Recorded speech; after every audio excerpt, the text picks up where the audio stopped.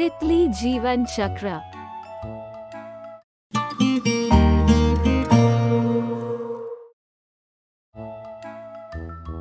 सबसे पहले मादा तितली पौधों की पत्तियों पर छोटे अंडे देती है।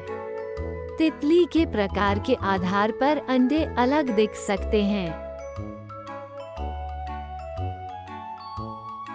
फिर अंडे फूटते हैं और उनमें से एक कैटरपिलर निकलता है।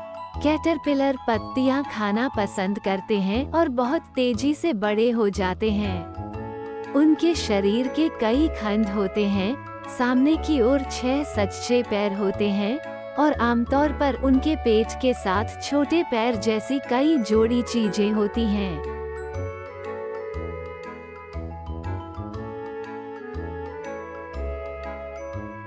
कोशस्थ कीट फिर बहुत कुछ खाने के बाद कैटरपिलर बदलने के लिए तैयार हो जाता है।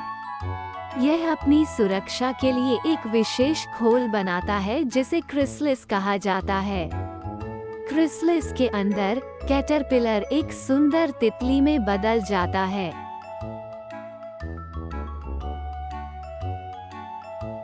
और एक दिन एक सुंदर तितली प्रकट होती है।